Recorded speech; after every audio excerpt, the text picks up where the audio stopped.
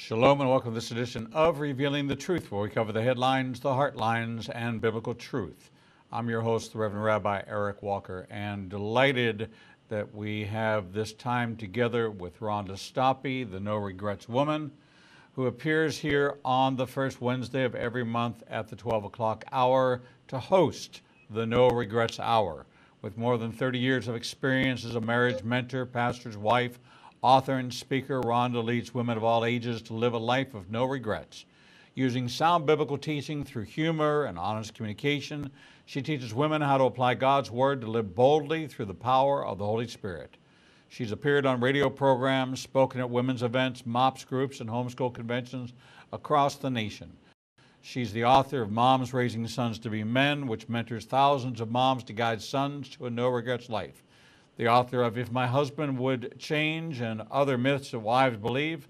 Uh, I'm sorry, If My Husband Would Change, I'd Be Happy, and Other Myths Wives Believe. And Real Life Romance, helping countless women build no regrets marriage. Are, she is also the co author with her husband, Steve of the Marriage Mentor. She lives in California with her husband. They have four adult children, eight grandchildren, and here to host the No Regrets Hour is our special friend, Rhonda Stoppe. Welcome to the No Regrets Merry Hour. Merry Christmas. Merry Christmas. Happy Hanukkah. Uh, very happy to see you. Uh, and you. Uh, delighted to have you on the program. So, what and is life? Update: We have ten, we have ten grandkids now. Ten. Ten, 10 grandkids. All right, I am going to fix this. In, we had one born in July, and then my daughter Kayla had a baby uh, the week before Thanksgiving, and oh. so now we have ten. That's eight granddaughters and two grandsons. wow, wow, and, lots of and tulle and crowns and fluff around our house. Right. Now, I know I've seen Steve dress up and I've seen him play with the girls. Uh, I know he's looking forward to the boy parts of uh, raising up his grandsons and uh, looking for them to be uh, as much of tractor riders and tractor lovers as the girls have been. Yes, yes.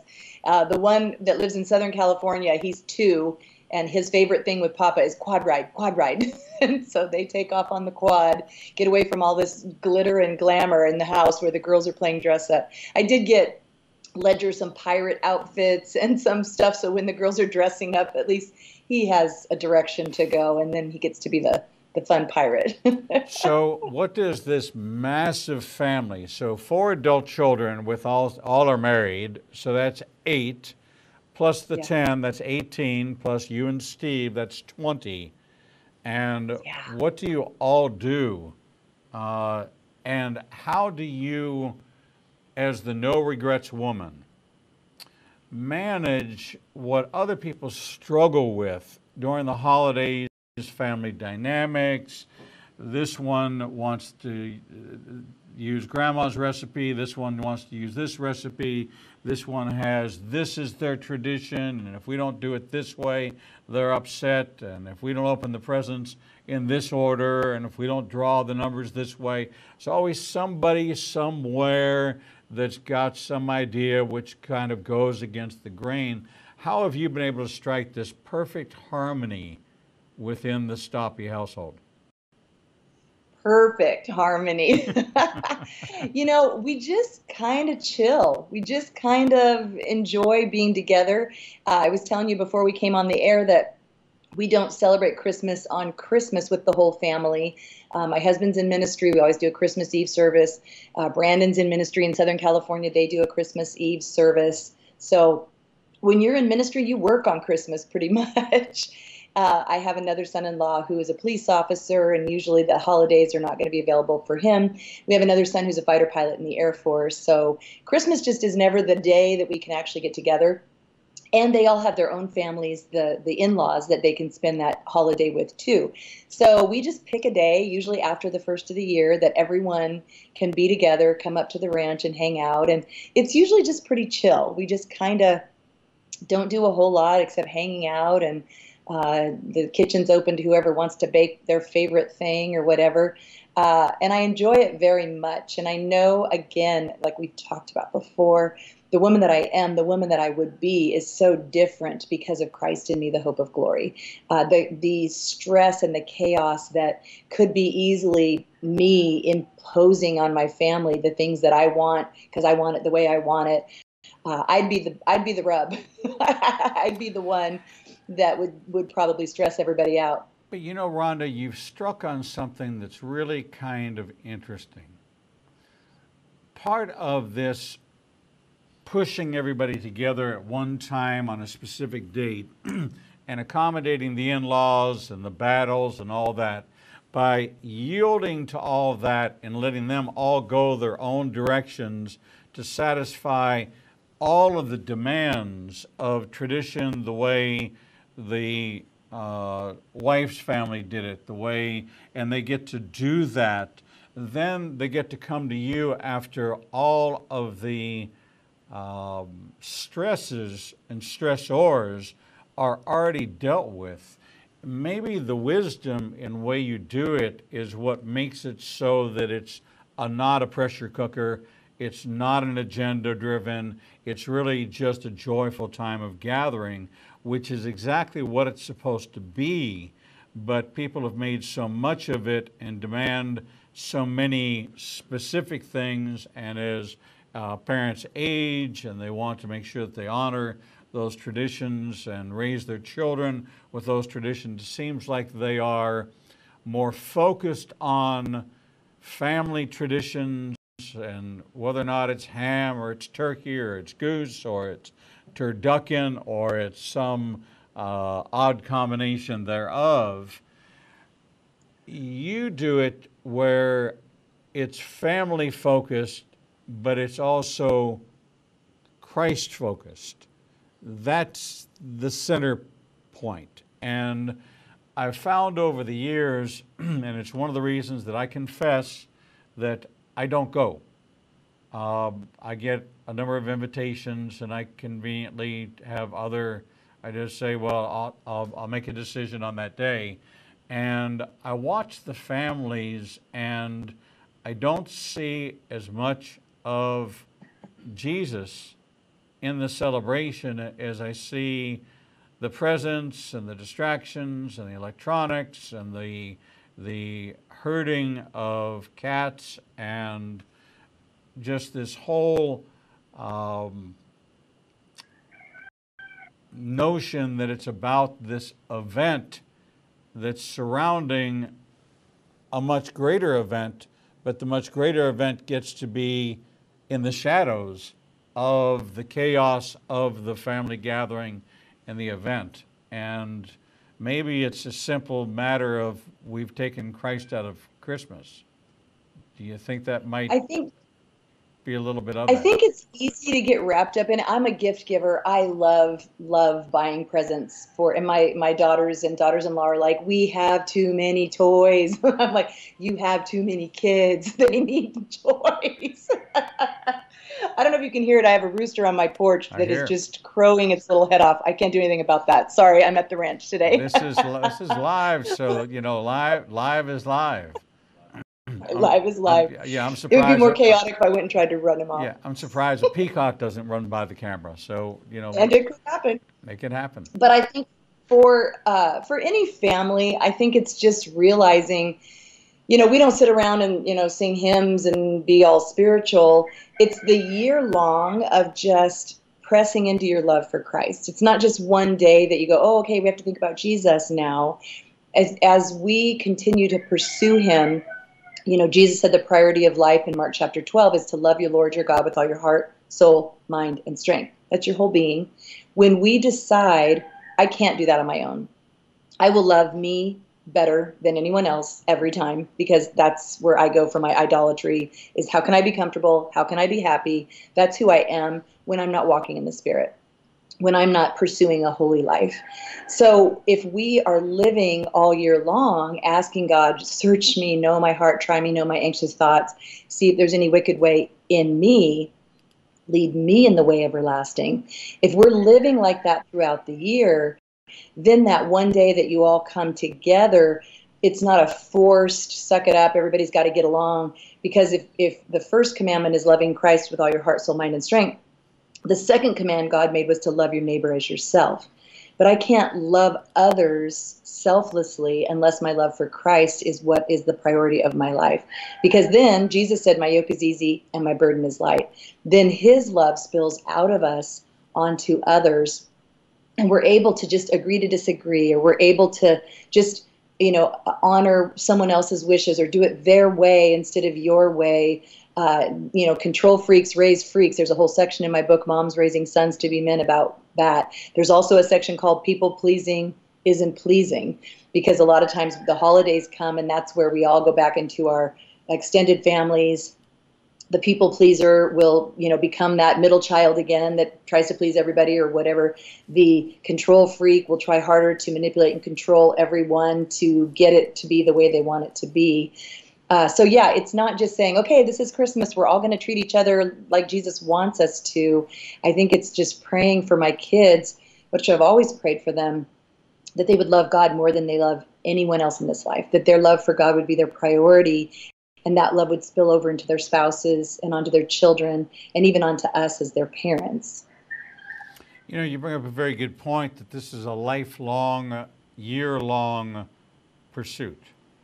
And, and celebration. And, and celebration. And it seems that we glorify certain events and we act a certain way during those events or during those seasons that kind of is a revelation to me that if you can be nice and you can be accommodating one day of year, then I know that you're capable of it. And should that not become the pattern for your behavior for the rest of the year, as opposed to it being your best behavior one day a year, and you're just going to act out the way you want for the other 364? The difference is I can fake it for one day out of the year. I can pretend not to be a difficult person or be self-centered or be manipulative.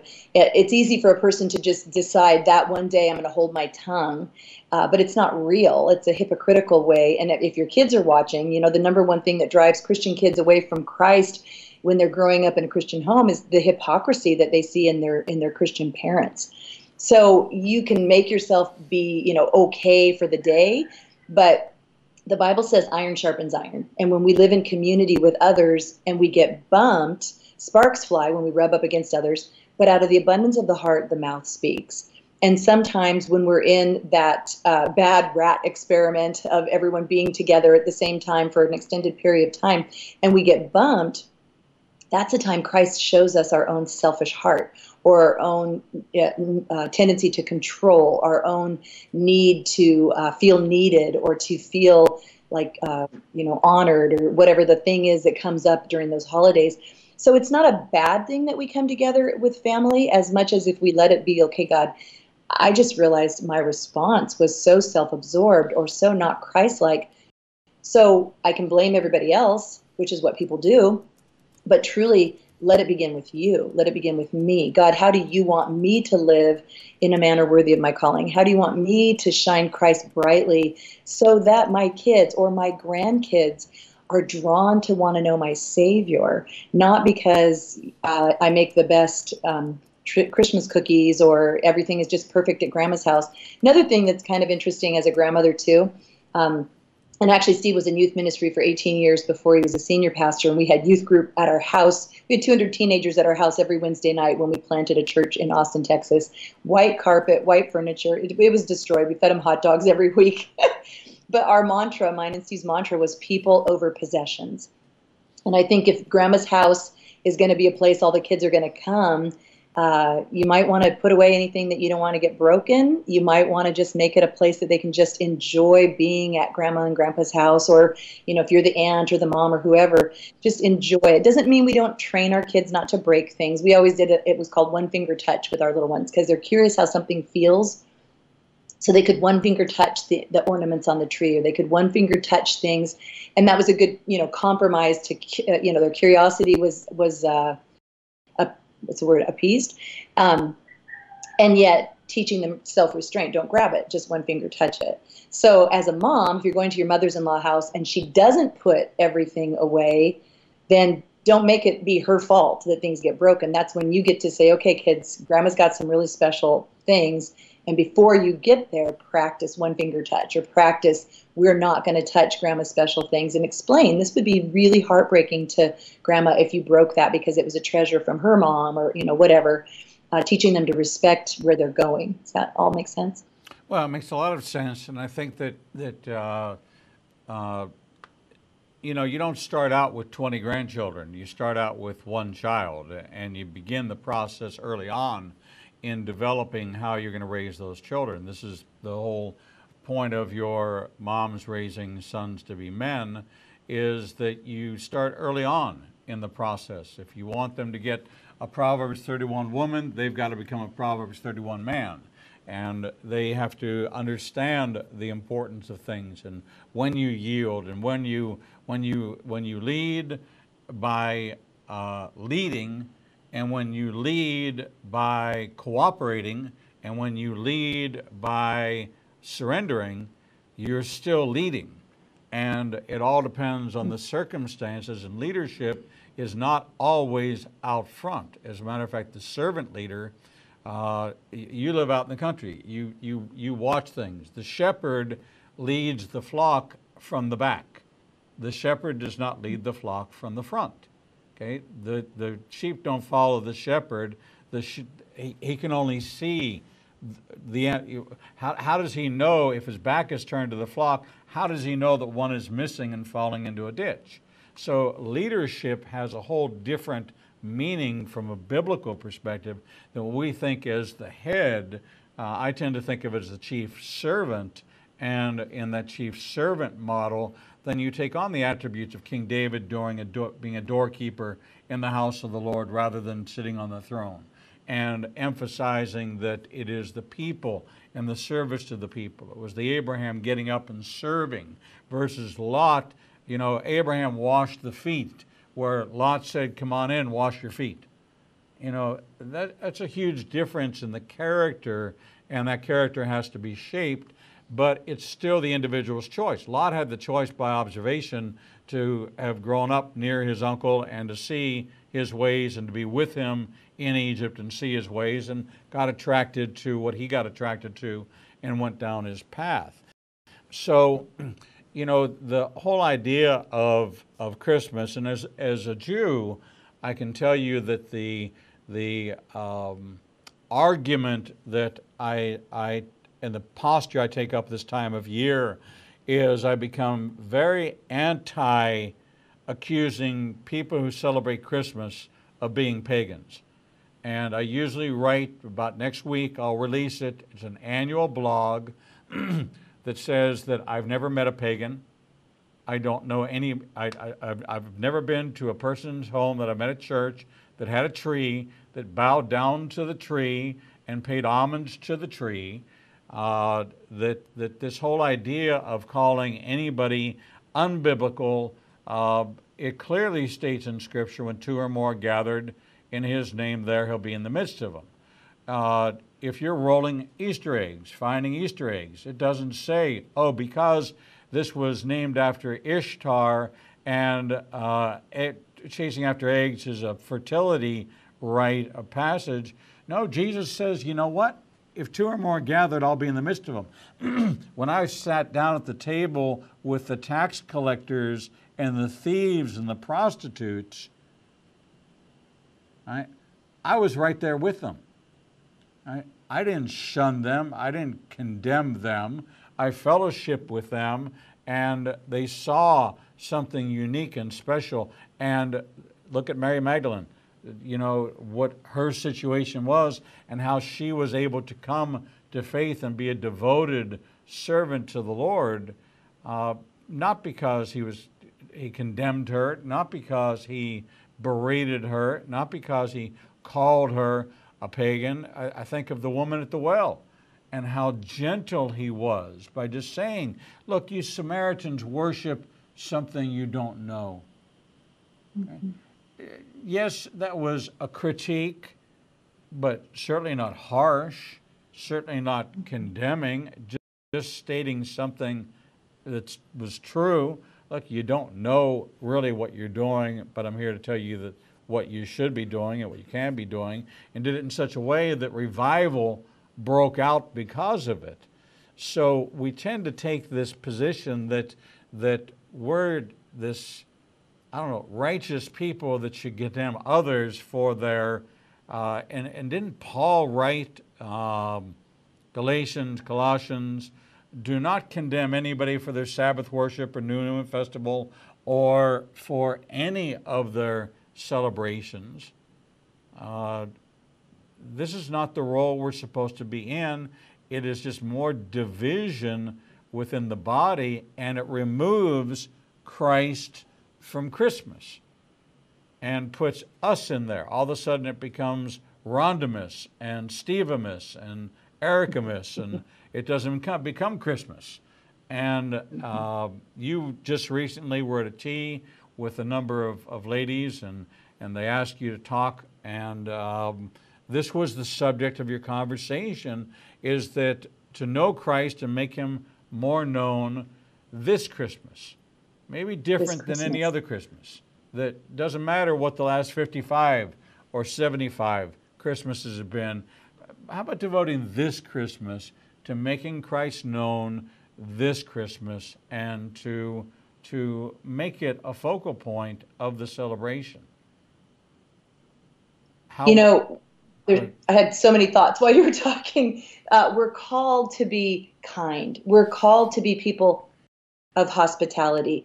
This is a one time in the year where songs are being sung on secular joy to the world. The Lord has come. Let earth receive her king.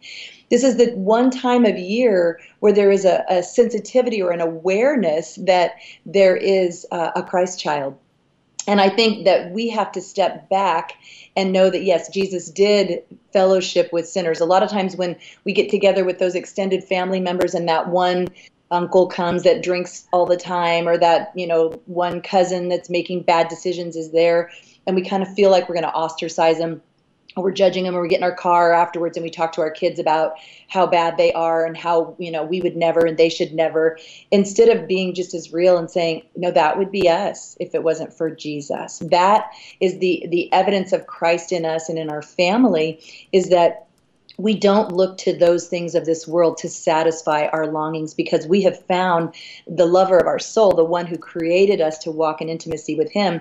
And that's why Jesus came was to purchase him purchase us for himself. Let's pray for that family member who always seems to be the rub. Let's pray for that family member who never, you know, shows up on time or, or drinks too much or whatever those things are. There's always a stranger at the table for the holidays that didn't have somewhere to go.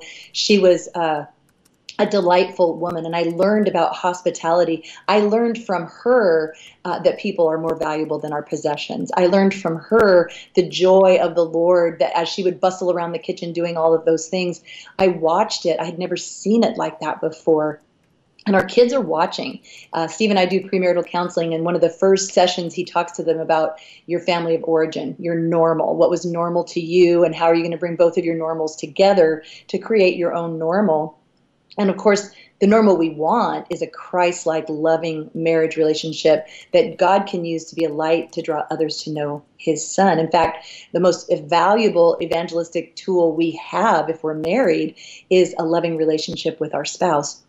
And that begins in our homes with our children, with our extended family. But for the holidays, I think when we think about, let's just to step back a minute and talk about that tea that I had talked at.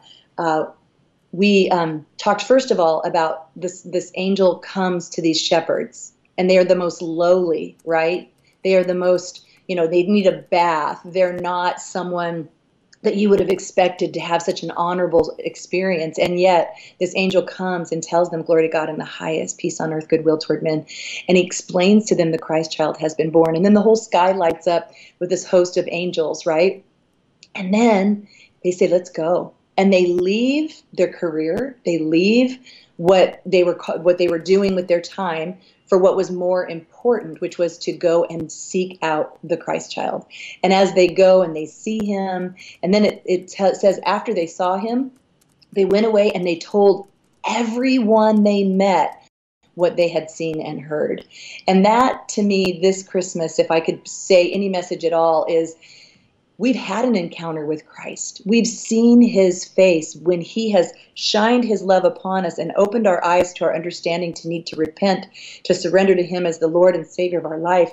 We've seen him.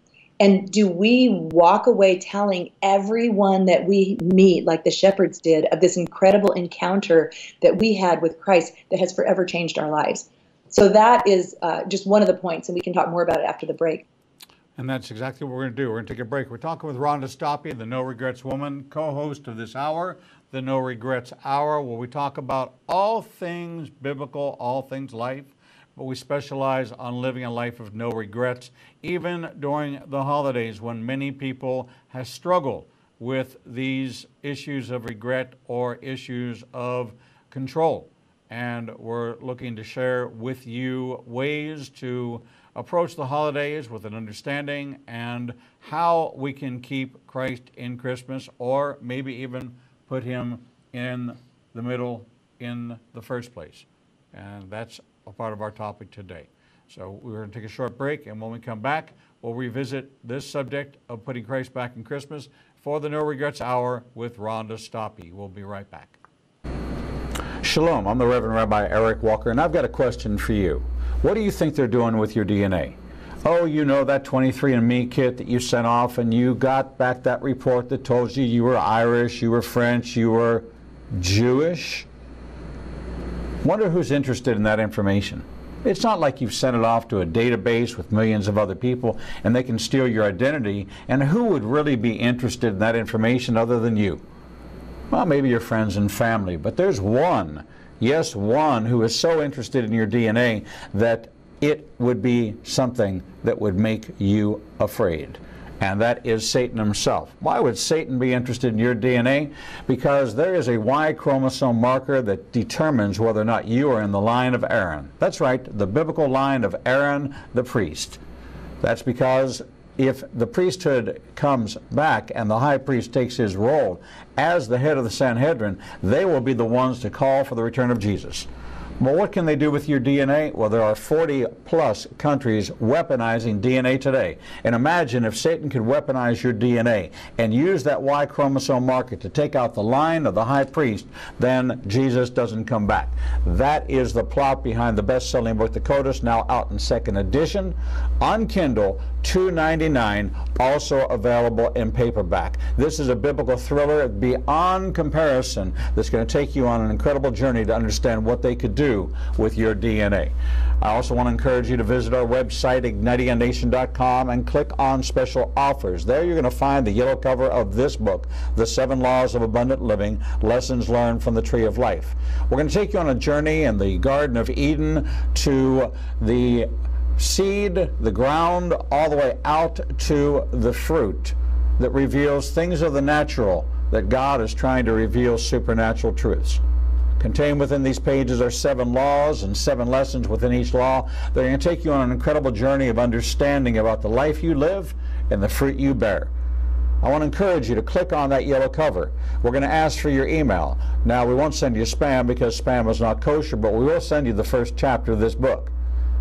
I want to encourage you to get Seven Laws of Abundant Living Lessons Learned from the Tree of Life. You can get it on Amazon. You can get it on Barnes & Noble. You can get it Books A Million, wherever great Christian books are sold. Take this journey with me to the Tree of Life in the Garden of Eden and to the Tree of Life we see again at the River of Life. Get your copy today.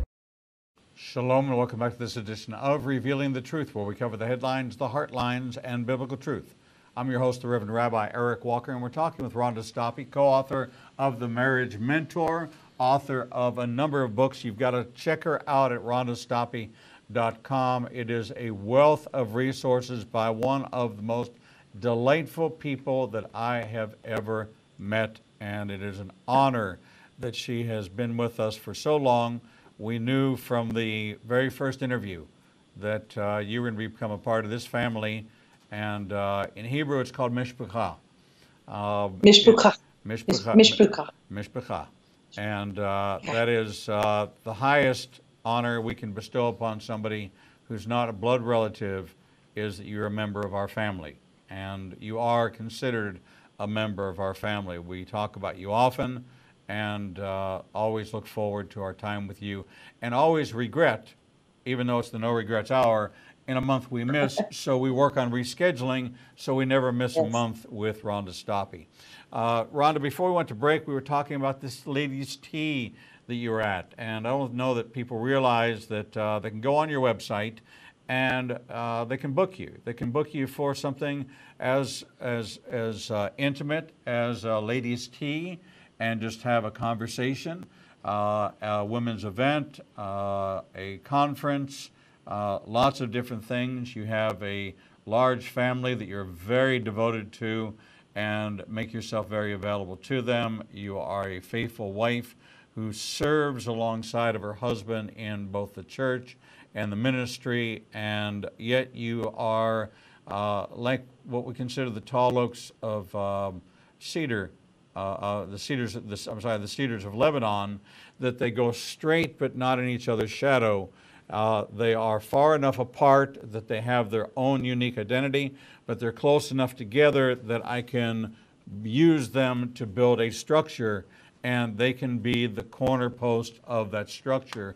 And you and Steve have developed that over the years, and it's quite a model and one to be respected because you each have your own identity. He's a lot more camera shy than you are, and I, uh, I just love the fact that we had him on the program, and he was really great, wasn't he? He is. He's great. And you can go to my website, noregretswoman.com or rhondastoppe.com. It'll both get you there.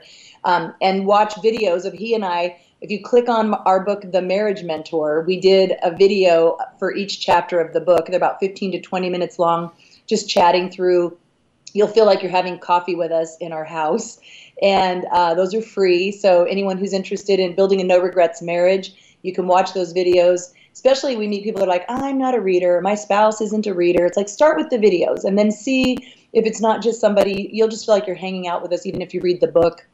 We wrote little gray boxes for the husbands. That's all they have to read because oftentimes the husbands are not that interested in reading. However, there's a couple reading right now that are not believers.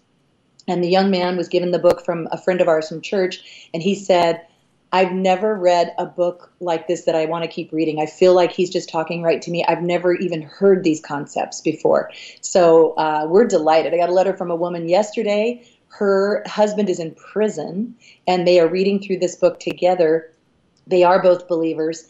And she said it's growing our relationship. They're watching the videos separately apart together uh, it's it's amazing to watch what God's doing through the marriage mentor, becoming the couple you long to be, as well as our other books. But that one is the newest, and uh, I'm excited about it.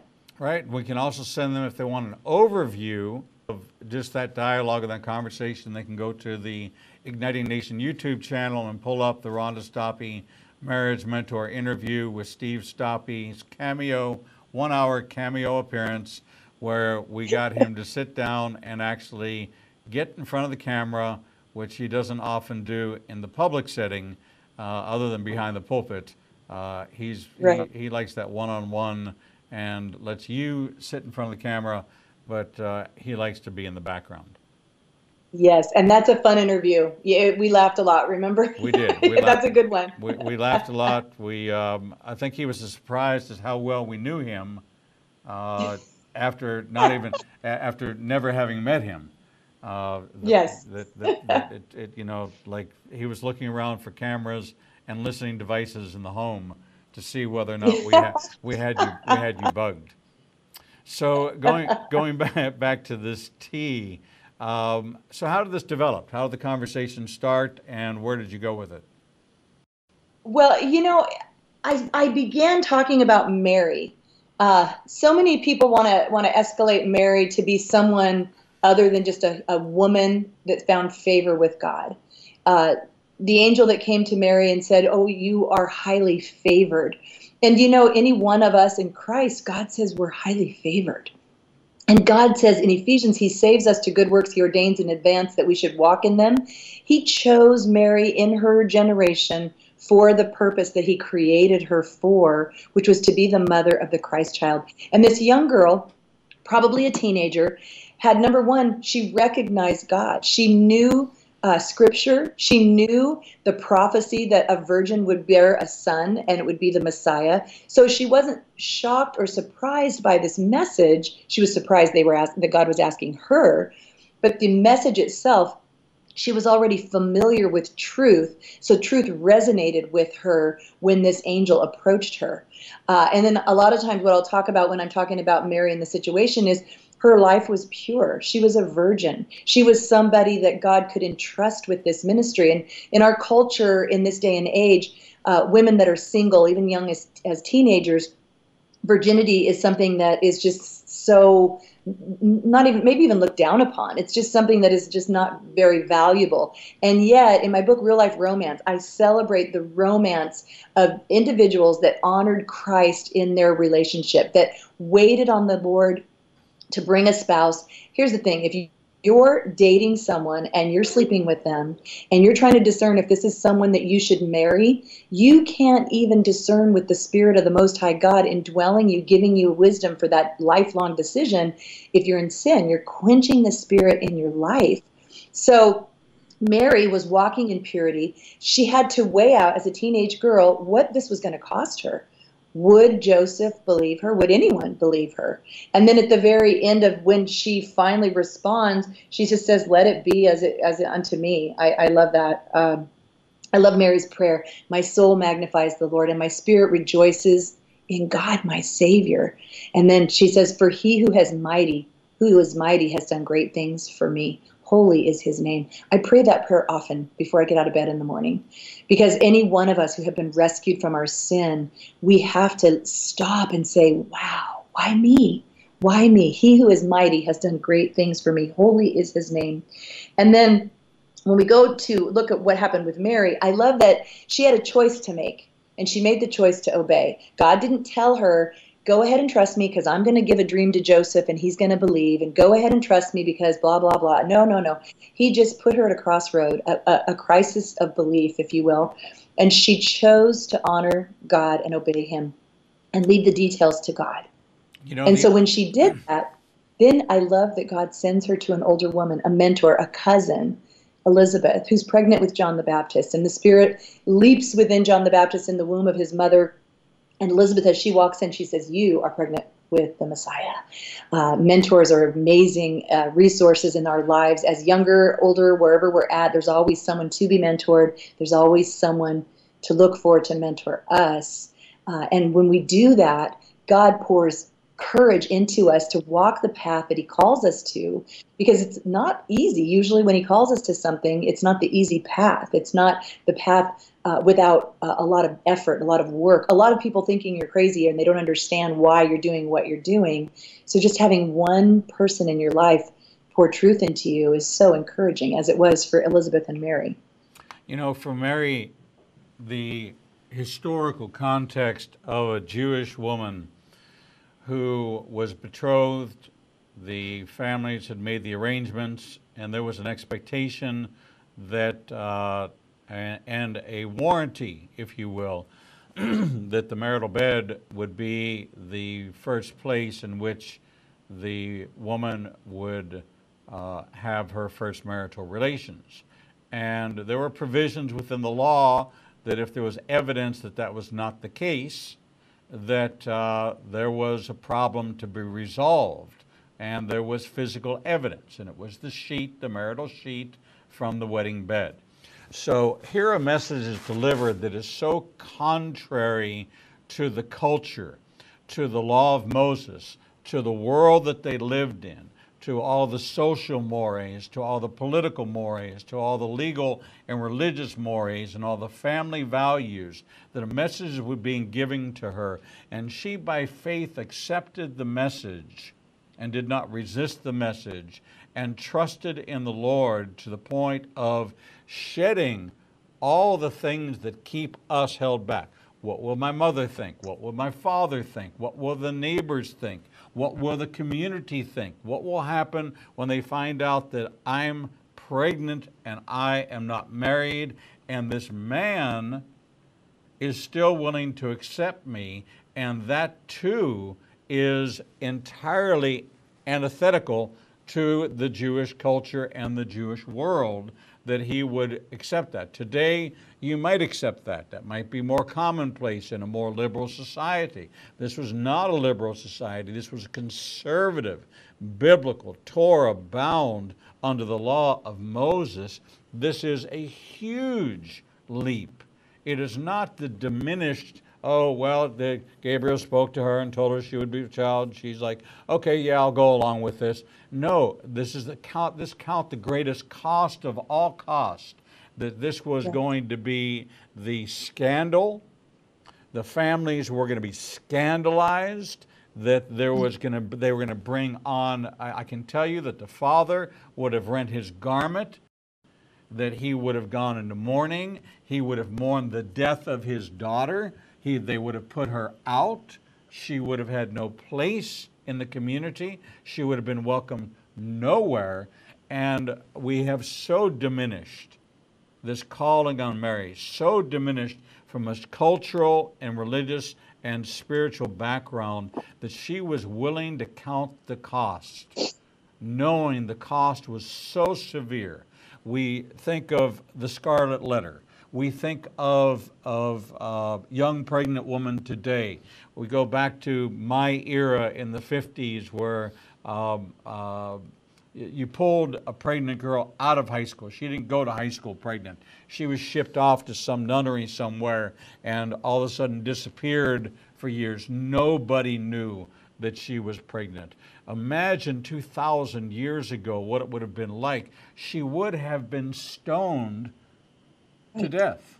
And she knew the price mm-hmm. she had to pay, but yet she was willing. And she did it with grace. And she did it with faith. And we take it so for granted, Rhonda, this calling on Mary and the price she had to be willing to pay. And we as believers, we, we, as believers don't count the cost. I, I as a Jew had to be willing to lose 14 million relatives to accept Jesus as my Messiah. I know what it's like to count the cost, but the average Protestant, the average evangelical, knows nothing. Nothing. It is every day, it is commonplace, and we have diminished it to the point where we ignore this mantle which was placed upon two individuals Mary, independent of Joseph, and Joseph, independent of Mary. Two people who so fulfilled the prophecy of Amos, can two walk together lest they be in agreement. They were both in relationship with the Lord and heard the voice of the angel, and they believed, knowing that whatever the world thought, they didn't care. How many of us are willing to answer that call, and how big a call was that that it brought us right. the Messiah? And that brought me to tears just thinking of this teenage girl, knowing all of that was in front of her if she said yes to the Lord. And I think that's our crisis of belief. God calls us, uh, maybe it's out of a, a dating relationship that isn't honoring to the Lord. And you're just like, what will I do? Where will I live? Where will I go? We're living together. Uh, it's a crisis of belief to trust and say, I will obey God no matter what it costs me. I am your servant. I can do no otherwise. And we have to look at God's character, which is revealed all through the Old Testament. He so gives us glimpses of how he works among his people so that we know his character, we know his hand in our own lives, we know to trust him. And it's so interesting. Number one, the angel came to Mary when she was alone and spoke to her when she was alone, and she came to her own decision alone. And then she tells Joseph, who does not believe her, God could have given Joseph the dream at the same time he was speaking to Mary, so that there was no moment of of uh, him questioning her. But in God's timing, He allowed that time in between. Mary went off to be with Elizabeth, and then God visited Joseph and said, "This child is of the Lord, and, and take her to be your wife." God's timing doesn't always look like what we would like. He allows us to be refined by fire he was refining the character of the man who would be the earthly father of Messiah, of his son. And part of that refining oftentimes just makes us uncomfortable, makes us feel uh, like what, what could possibly good could come of this. And the kindness of Joseph comes out when we see that it says he wanted to put her away quietly. uh, he was a kind man, talking about leading from kindness. He was a kind man. He loved this woman. He was devastated at the news, but it wasn't until God let him process all of that, his character comes forth as this kind man, and then God visits him and says, Take Mary as your wife. And so he does, and I'm, I'm sure there was scandal and talks and sideways looks, and you know they're they're just people that even in Jesus' time were saying, oh, you know, huh, yeah, we know where you came from. But God was glorified in their obedience. And then they have this baby, and then you know, I love what's going on in the politics is ridiculously uh, pointing toward the second coming of our Messiah. And people are up in arms what's going to happen oh no oh no but just like god so divinely orchestrated politics at the time so that mary and joseph would have to go back to bethlehem to be counted to pay their taxes and all those things that had to happen he orchestrated that Jesus would be born in the town that it was prophesied. And then he let him be born in a barn. He didn't let him be born even in a house with a bed. It was the most lowly entrance into this world that God chose for his son. And then when they take the baby and they go in to have him circumcised, I love Simeon, who this older man scoops up this child and he says, I've seen the consolation of Israel. Now I can die. Basically, God had promised him he wasn't going to die until he saw Messiah. And in that moment, I love again God's providence and sovereignty, his timing. In that moment, Anna, who had lived in the temple, who had been widowed for like 84 years, had no children, at that very moment, she happens by to hear her buddy Simeon saying, This is the Christ child. And of course, Simeon also looks at Mary and he says, Your heart's going to be pierced through with sorrow. Even in that, God started preparing Mary. This child is going to is going to die. This this this grief is something you're going to just have to know. Did she think of that when she was standing at the foot of the cross? Did Simeon's words come back to comfort her at that time? I don't know. But I love that after Anna spent that one encounter with Jesus, the Bible says she went and told everyone that she had heard, everyone that she had seen the Messiah. Again, in this Christmas season, are we willing to tell everyone we've seen Messiah? He changed my life. My encounter with him forever took my heart of stone and was replaced with a heart of flesh. He wrote his statutes on my heart. He causes me to walk in his ways. He gives me the will to do what he calls me to do. There's purpose in life. Joy beyond measure because he is my king, because the Christ child has grown and lived and died and purchased me for himself. And then the final point is the angels. You know, they glory to God in the highest. In Revelation I think it's in Revelation 5, it talks about around the, th- the throne where they're looking at Jesus, the Messiah, and they're saying, Who will take the scroll? You're worthy. And I love this line. It says, For with your blood you purchase men for God from every tribe, from every tongue, from every nation.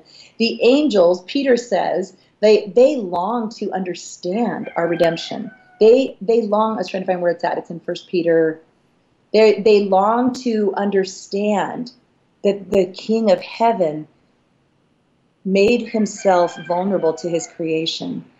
And even when Jesus, you know, when Peter cut off the ear and was going to fight to save Jesus, and he put the ear back, he's like, Peter, don't you know that I could call, ask my father right now to send a legion of, of angels and this wouldn't happen? And I think just the angels of heaven knew we can rescue him. And watching God allow mere creation to not just hang him on a cross, but abuse him, beat him so he didn't even look like a man before they put him on a cross. And this host of heaven that would protect him from any of that, God held back. He held them back. And he allowed Jesus' blood to be spilt to purchase you and I as the treasure of our King, as the bride of Christ.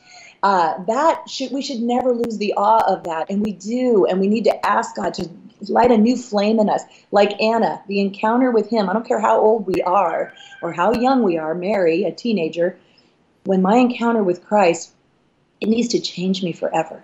And I need to ask God, give me that zeal, give me that urgency to make Christ known in this generation, and especially at Christmas time when the, there's talk of the Christ child, there's talk of redemption, of, of angels, and then not let it just be commonplace. Tell it to our children in a new and fresh way and make Christ known this Christmas. Ask God, help me make Christ known this Christmas. And that is the call for each one of us that we would use this season the season where we celebrate the birth of Messiah. Not that the Bible commands us to celebrate it, therefore, we do it of our own volition in order to edify, in order to uplift, in order to celebrate the birth of the greatest miracle man has ever known, the one who brought us the plan of salvation of a loving Father who is willing to sacrifice his only Son. If this can be a day, a time, a season where we put Christ back into Christmas, the challenge for each one of us is to take ourselves out of the equation and put Him at the forefront. Then your festivities, your holiday celebration, your heart will change, and that will set the course for the remainder of this year and all the years to come. It's a great place to start by putting Christ back in Christmas. Rhonda Stoppe, the No Regrets Woman, you are a blessing to us. We wish your family a happy Hanukkah, a Merry Christmas, a Happy New Year, and we look forward to seeing you on January the 16th at a special day and time due to scheduling conflicts. But we will see you then. And until we see you, we uh, just send you our love and blessings for you and your entire family for this year and for every year to come. Thank you. And if you could keep in mind your audience to be praying for my friend Heather Lee. Her husband is a pastor of a Messianic Jewish congregation in Paradise, California, which is near where we live. 90% of that town burned in the California fires. Their church did not burn down. She said the grass is even still green. Uh, they lost their home, and a lot of their church members have moved away to find some sort of housing. They are in dire need of uh, finances, of people to help come alongside of them in their church. Her father in law just quit his job to come be with her uh, husband so he can help him run the church and get it back in order. But prayers appreciated for California and specifically for Heather Lee and her husband and their ministry there in Paradise. Amen and amen. Rhonda Stoppe, the No Regrets Woman, find her at rhondastoppe.com or noregretswoman.com. And we just bless you abundantly and thank you so much for being a part of our family. We're going to take a short break. And when we come back, we'll bring you the next edition of Revealing the Truth.